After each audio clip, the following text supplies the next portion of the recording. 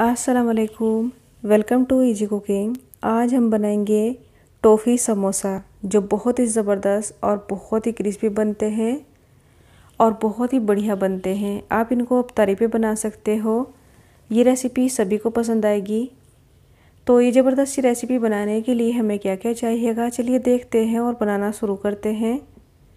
तो इसको बनाने के लिए सबसे पहले हम डो तैयार कर लेंगे। इसके लिए हमें चाहिए एक कप मैदा इसके अंदर डाल देंगे नमक अपने टेस्ट के हिसाब से। एक चम्मच डाल देंगे इसके अंदर ये घी।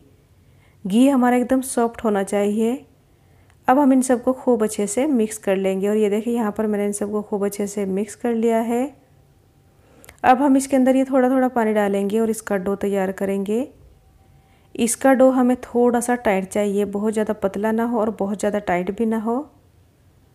और ये देखिए, यहाँ पर ये हमारा डो तैयार हो चुका है। अब हम इसके ऊपर ये एक चम्मच कुकिंग ऑयल डाल देंगे, इसको खूब अच्छे से फैला देंगे। और बस, अब हम इसको ढक करके छोड़ देंगे दस मिनट के लिए। तो यहाँ पर हम इसको ढक करके छोड़ देते हैं दस मिनट और इसके लिए आलू तैयार कर लेंगे। और इधर ये मैंने एक खाली बाउल ले लिया है, इसके अंदर डाल देंगे आलू। तो यहाँ पर ये मैंने उबले हुए तीन मीडियम आलू लिए हैं, इनको मैंने उबाल लिया है, छील लिया है। और कद्दूकस कर लिया है। इसके अंदर डाल देंगे नमक अपने टेस्ट के हिसाब से। लाल मिर्च का पाउडर डाल देंगे अपने टेस्ट के हिसाब से। एक टीस्पून डाल देंगे भुना पिसा ज़ीरा। एक चौथाई टीस्पून इसके अंदर हल्दी पाउडर डाल देंगे। एक टीस्पून इसके अंदर चाट मसाला डाल देंगे। इसी के साथ साथ हम इसके अंदर डाल देंगे प्याज। तो यहाँ पर ये मैंने बारीक कटा हुआ प्याज लिया है। ये मैंने तीन चम्मच लिया है। और इसी के साथ साथ हम इसके अंदर डाल देंगे हरा धनिया दो तीन हरी मिर्चें जिनको मैंने बारीक कट कर लिया है और इसी के साथ साथ ये डाल देंगे मैदा। तो यहाँ पर ये दो चम्मच मैदा डाल देंगे। अब हम इन सबको खूब अच्छे से मिक्स कर लेंगे। तो यहाँ पर मैदा मैंने इसलिए डाला है ताकि हमारे जो आलू है वो फ्राई करते वक्त समोसे से बाहर ना निकले, वो खूब अच्छे से फ्राई हो जाए। तो यहाँ पर इन सबको खूब अच्छे से मिक्स कर लिया है मैंने, ये देखे।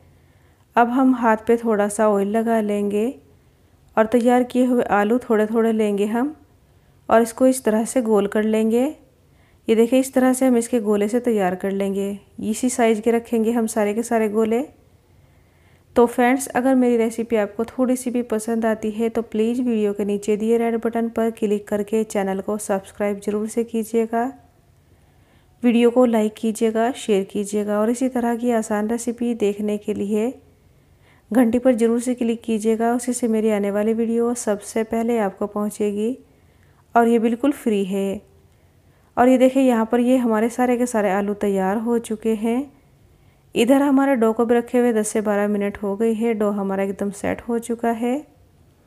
तो हम इसको बोर्ड पर रखेंगे और इस तरह से हम इसको मिक्स कर लेंगे ताकि हमारा जो डो है वो ज़बरदस्त सा हो जाए। और बस डो हमारा तैयार है, अब हम इसके अंदर से छोटे छोटे पीसीस कट कर लेंगे। ये देखिए इस तरह से। और अब हम एक एक पीस लेंगे और इसको इस तरह से गोल कर लेंगे, इसके पेड़े तैयार कर लेंगे। और अब हम एक एक पेड़ा लेंगे, इसको सूखे मैदे में लगाएँगे और एक बेलन की मदद से हम इसको बेल के तैयार करेंगे। ये देखिए इस तरह से। थोड़ा सा लंबा सेफ़ रखे, इसका इस तरह से आप देख पा रहे होंगे। और बस एक चाकू की मदद से हम इसके बीच में इस तरह से कट लगा लेंगे। इसके किनारे छोड़ देंगे और बीच बीच में हम इसमें कट लगा लेंगे। अब हम यहाँ पर इसके ऊपर ये थोड़ा थोड़ा पानी लगा लेंगे, ताकि हमारे जो आलू है वो खूब अच्छे से इसके अंदर चिपक जाए। अब हम आलू का एक एक गोला सा लेंगे ये और इसको यहाँ पर रखेंगे और इसके किनारे उठाते हुए इसको इस तरह से सेट कर देंगे। ये देखें इस तरह से। यहाँ पर आप इसको ध्यान से देख लें। और बस इसके किनारे उठाते हुए हम इसको इस तरह से घुमाएँगे और इसके जो किनारे एक्स्ट्रा है, उनको हम कट कर देंगे दोनों साइड से। और बस ये ज़बरदस्त सा एक हमारा टॉफ़ी समोसा तैयार हो चुका है, बहुत ही ज़बरदस्त बना है। तो इसको हम एक साइड रख लेंगे, इसी तरह से हम सारे के सारे तैयार करेंगे। इधर ये मैंने ऑयल रख दिया है गर्म होने के लिए ऑयल हमारा मीडियम गर्म हो चुका है। अब हम ये तैयार किए हुए समोसे इसके अंदर डाल देंगे। और फ्लेम को मीडियम ही रखेंगे। मीडियम फ्लेम पर ही हम इनको फ्राई करेंगे ताकि ये ज़बरदस्त से बने, क्रिस्पी बने। तो यहाँ पर ये मैंने एक बार के समोसे डाल दिए हैं। हम इनको छोड़ देंगे दो मिनट के लिए। जैसे ही ये थोड़े सीख जाएँगे, फिर हम इनको दूसरी साइड पलट लेंगे। और ये देखिए, यहाँ पर ये हमारे समोसे थोड़े से सीख चुके हैं। अब हम इनको दूसरी साइड पलट लेंगे। ये देखिए, इनके अंदर हल्का सा कलर आ गया है एक साइड। तो ये देखें दूसरी साइड पलट लेंगे और फ्लेम को मीडियम ही रखेंगे। मीडियम फ्लेम पर ही हम इनको फ्राई करेंगे। तो इसी तरह से हम इनको चारों साइड से पलटते हुए फ्राई कर लेंगे और फ्लेम को मीडियम ही रखें। फ्लेम को बहुत ज़्यादा ना बढ़ाए, वरना तो हमारे जो समोसे हैं वो ऊपर से फ्राई हो जाएँगे और अंदर से कच्चे रह जाएँगे। तो मीडियम फ्लेम पर इसको फ्राई करना है। और ये देखें यहाँ पर ये हमारे समोसे फ्राई हो चुके हैं। बहुत ही ज़बरदस्त से और बहुत ही प्यारे से हो गए हैं। और बहुत ही क्रिस्पी हो गए हैं और बहुत ही अच्छा से इनके अंदर कलर आ गया है। तो अब हम इनको निकाल लेंगे। हमारे समोसे बिल्कुल तैयार है। ये देखें। तो यहाँ पर हमारा ऑयल गरम है। बाकी के समोसे भी हम इसी तरह से डाल देंगे और इनको भी हम इसी तरह से फ्राई करेंगे और फ्लेम को मीडियम ही रखेंगे।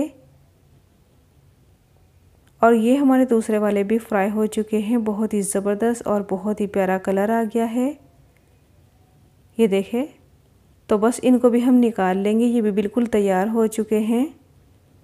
तो फ्रेंड्स, इनको ज़रूर से बनाना, बहुत ही ज़बरदस्त रेसिपी है और ये रेसिपी सभी को पसंद आएगी। तो अब तारी पे आप इनको ज़रूर से बनाएँ, ज़रूर से इन्जॉय करें। बहुत ही अच्छी रेसिपी है और ये देखें, ये हमारे तैयार हो चुके हैं, दूसरे वाले भी इनको भी हम निकाल लेंगे। और यहाँ पर ये हमारे सारे के सारे समोसे तैयार हो चुके हैं, जो बहुत ही ज़बरदस्त और बहुत ही क्रिस्पी बने हैं।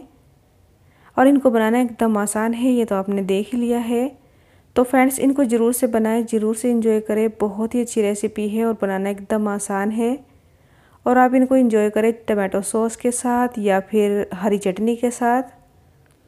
तो आपको ये रेसिपी कैसी लगी, ये मुझे ज़रूर से बताना। अगर आपको रेसिपी पसंद आती है तो इसको लाइक करना बिल्कुल भी मत भूलिएगा। तो फिर मिलेंगे एक और नई रेसिपी के साथ। तब तक के लिए थैंक्स फॉर वॉचिंग अल्लाह हाफिज़।